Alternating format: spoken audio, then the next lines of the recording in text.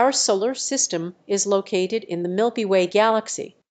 The Milky Way is a barred spiral galaxy that is part of the local group of galaxies.